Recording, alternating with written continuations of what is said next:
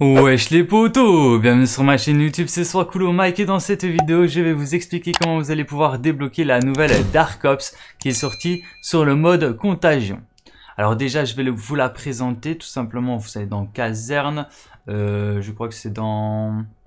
Ah non, c'est dans Défi, Zombie, ensuite vous allez à droite, Opération Secrète et c'est Percé. Donc en mode Contagion, terminer 10 objectifs et exfiltrez-vous au cours d'une même partie. Donc il faut aller à la manche 10, donc terminer le dixième objectif de la manche 10, et ensuite il faudra vous exfiltrer.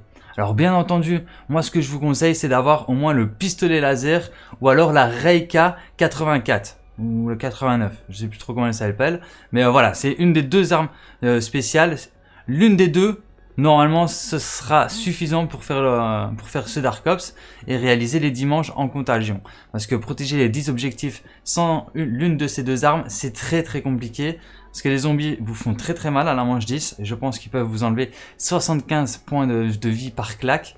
Euh, donc si vous avez Masto, ça fait 3 claques et vous tombez par terre. Alors très important aussi, équipez-vous bien du bouclier à chaque manche, rééquipez-vous de votre bouclier, euh, essayez de l'améliorer au maximum bien entendu, parce que c'est très efficace. À la place de manger 3 baffes, vous en mangez peut-être 5, 6, 7, 8, voire 9 avant de tomber par terre. Donc franchement c'est super efficace le, le gilet pare-balles, donc n'hésitez pas à vous en servir. Alors je vous conseille de le faire à deux joueurs, je pense, franchement deux joueurs c'est bien. Moi je l'ai réussi euh, à trois joueurs. Je l'ai fait à trois joueurs, ça a été, franchement, c'était pas trop compliqué. Euh, essayez de tous avoir au moins un pistolet laser ou alors la Reka 84.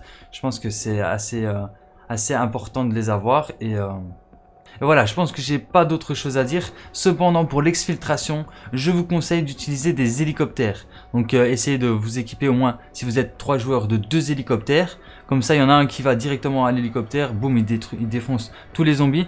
Et très important, il faut être près de l'hélicoptère pour que le décompte se fasse. Donc ne montez pas dans votre hélicoptère si vous n'êtes pas sur la zone d'exfiltration. Donc quand vous êtes sur la zone d'exfiltration, bah là vous utilisez vos hélicoptères. Et euh, logiquement, franchement, c'est pas très compliqué. Si vous êtes bien équipé, bien stuff, ça devrait passer ce crème. Et si vraiment vous n'y arrivez pas, je peux vous proposer le service de Johnny34 qui lui peut vous créer un lobby pour justement débloquer ce Dark Ops.